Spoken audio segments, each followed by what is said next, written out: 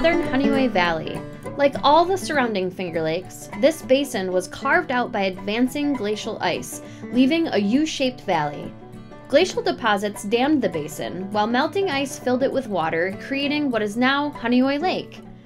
The wetland complex south of the lake is rich in diversity, supporting many distinct species of wetland plants, nesting songbirds and waterfowl, breeding amphibians and reptiles, and some unique wetland mammals. Like me. Just kidding. This video highlights the resident beaver population located in the southern Honeoye Valley Wetland Complex, which in my opinion is one of the coolest things we get to witness regularly here at the field station.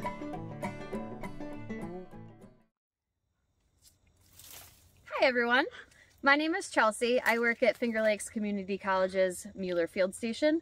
It's a biological research station just south of Honeoye Lake. And we have this really special resource available to us, which is the inlet that flows into the lake. And we're out here today because there's a lot of beavers that live here. And we're just kind of exploring the habitat.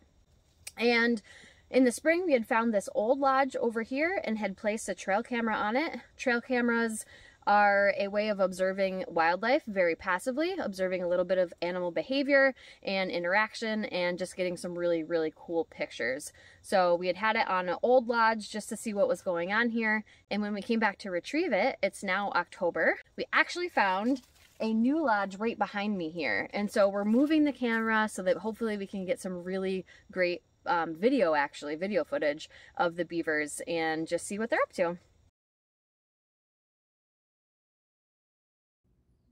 We place the camera pointing towards what looks like a new beaver lodge.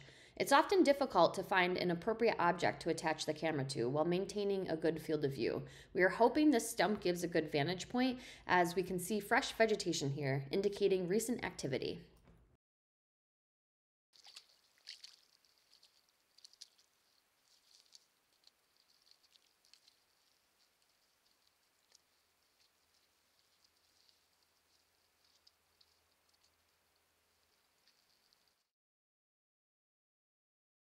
During the early 20th century, beaver were extirpated from much of its natural range, and this was due to habitat loss as well as a high demand for its fur, which is also called a pelt, which we have right here. You can see it's really nice and thick and soft. But they're now thriving actually in much of their historical range, and this is due to reforestation efforts, harvesting limits, as well as reintroductions into their natural range.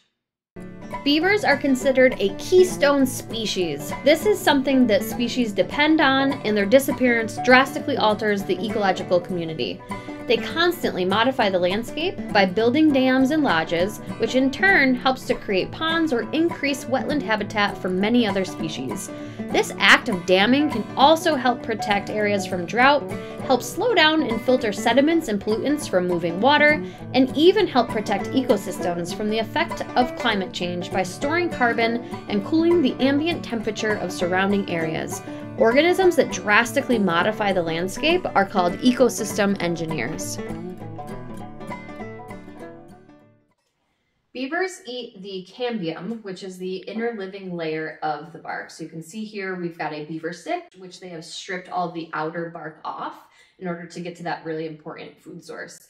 In the summertime, they may eat things that are more herbaceous material like leaves or roots or cattails. Beavers will fell an entire tree to get to the new growth at the top of the tree. One beaver will chew down a tree, but the rest of the family will help break the tree down into logs that they will then use as building material. Their favorite foods are aspen, willow, alder, and maples, just to name a few. And beavers have these nice, long, strong front teeth. They will continually grow throughout the lifetime of the beaver, and gnawing this woody material helps to keep them at a decent size. Otherwise, they could grow out of control and form something called a malocclusion, which would then actually be really damaging to the beaver's health. Beaver lodges may become abandoned over time. We often find that other animals use these structures as shelter, feeding platforms, or scent posts. Here at the field station, it is not uncommon to find river otter scat on top of or near old beaver lodges. These areas are called latrine sites, areas where an animal may repeatedly defecate for the purpose of, you guessed it, communicating with one another. They will also use the old lodges for denning. Although beavers and river otters occupy the same habitat, they live together in harmony and do not compete for food resources. River otter eat mostly fish and may actually benefit from beaver dams landlocking prey into a confined area.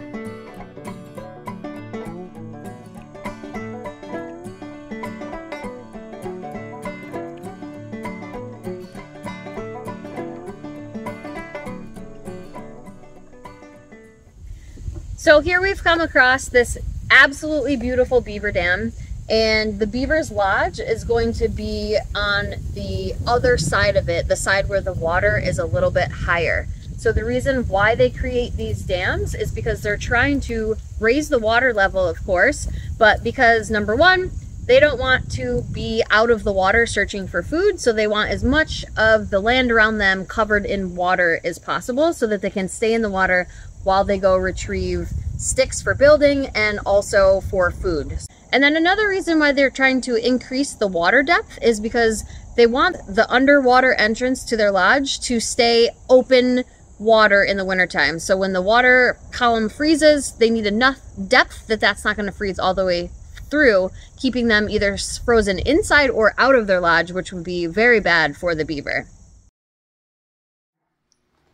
Beaver dams can be built remarkably fast, sometimes in less than 24 hours, and beavers typically tend to work on them at nighttime when they're less vulnerable to predators. The world's largest dam was recorded in Alberta, Canada at Wood Buffalo National Park. It is 2,788 feet long, which is twice the length of the Hoover Dam. As beavers prepare for winter, they must repair their dam with fresh sticks, mud, and rocks, and reinforce their lodge. They also store branches near their lodge for easy access by sticking them in the mud. This is called a cache, and they will utilize this food source throughout the winter months until they can safely forage on land again in the spring.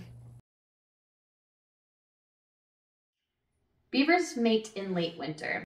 They will live in small family groups depending on the availability of suitable habitat. The offspring will typically stay with their parents through the first year, and then sometimes even a second year if they can't find suitable habitat and establish their own territory based on population density in their area. The lodge will consist of typically two underwater entrances, multiple dens, and a hole at the top for fresh air. Activity will typically center around the lodge and then radiate outward where they're collecting building material and feeding material. We found this deposit on top of the beaver dam. Beavers often defecate in the water and their scats rarely found on land. It's typically composed mostly of sawdust. So although this might not be beaver scat, other possibilities include a loose scat from a muskrat or an anal secretion from a fisher. We're really not sure, although it's no surprise that other animals use this dam as a little highway to cross from one side of the channel to the other. In addition to dams and lodges, beavers also create little structures known as scent mounds. And they will go to the bottom of the water and they will bring up a conglomerate of leaves and mud and form it into a little pyramid shape. They will then deposit a oily substance called castoreum, this is produced in castor sacs that are located underneath the base of their tail, and they will deposit this onto the scent mound. Now, castoreum's been historically used for lots of human uses, such as artificial vanilla flavoring and makeup and all sorts of different things. We have a little jar of it that we use to um, scent our trail cameras, and it's used as a scent lure, just make other animals a little curious and get better pictures of them. Beavers create scent mounds as a form of communication, so they might be trying to relate information such as their age or breeding status or defining a territory. They also use castoreum to waterproof their fur.